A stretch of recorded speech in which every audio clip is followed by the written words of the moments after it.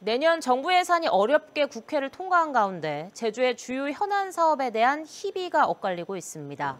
공공하수처리 시설 현대화 사업은 예산을 추가 확보해 숨통이 트이게 된 반면 4.3 국가 트라우마 센터 추가 운영비와 번역 감염병 전문병원 구축 사업은 단 한 푼도 확보하지 못했습니다. 보도에 양상현 기자입니다.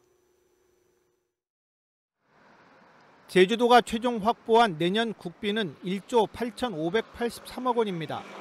올해보다 150억 원가량 늘어났습니다. 당초 정부 본 예산에서 국회 심의 과정을 통해 12개 사업에 213억 원을 추가 확보했습니다. 내년 국비 확보 결과에 따라 사업별로 희비가 엇갈리고 있습니다. 제주 공공하수처리 시설 현대화 사업의 경우 내년 8단계 사업에 필요한 예산으로 410억 원 요청해 정부 본 예산으로 164억 원만 반영되며 불투명했었지만 그나마 국회 심의 과정에서 81억 원이 증액돼 숨통이 트이게 됐습니다.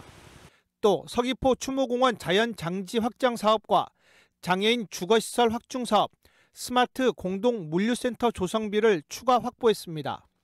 정부 긴축재정 기조 속에서 이제 상당한 성과를 거둔 것으로 어 이제 평가를 하고 있습니다. 특히 이제 이런 그 공공화수 처리장 현대화 사업이라든지 이런 부분들은 그 계획한 기간 내에 어 준공을 하는데 이제 도움이 될 것으로 이제 기대를 하고 있습니다. 4.3 관련 사업은 성과 반 아쉬움 반입니다.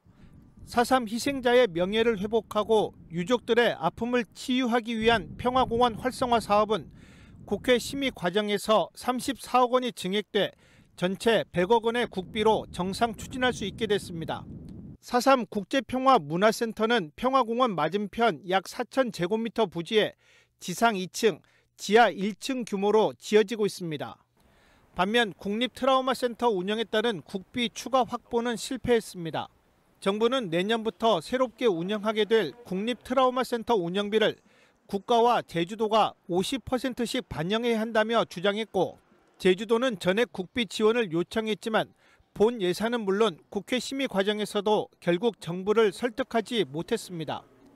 이에 따라 제주도가 국립 트라우마 센터 운영비의 50%를 자체 예산으로 확보해야 할 처지에 놓였습니다. 4.3 어, 공원 활성화 사업에 34억 6천만 원을 증액 반영했습니다.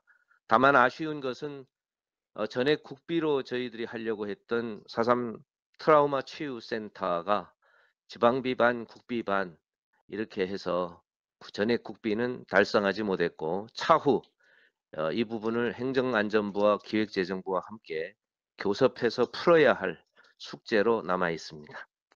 섬이라는 특수성을 감안해 권역 감염병 전문병원의 조속한 설치에 대한 요구는 커지고 있지만 이번에도 본 예산 반영에 실패했고 국회 심의 과정에서 22억 원의 편성을 추진했지만 결국 받아들여지지 못했습니다. KCTV 뉴스 양상인입니다.